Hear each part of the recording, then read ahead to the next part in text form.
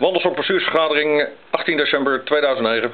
Ehm, eerste punt van orde. Eh, ten einde een snellere doorstroming van besluiten naar de leden te bewerkstelligen is besloten om ieder afzonderlijk genomen besluit ehm, te videoen en dat geheel daarvan eh, na de vergadering online te gooien voor de leden.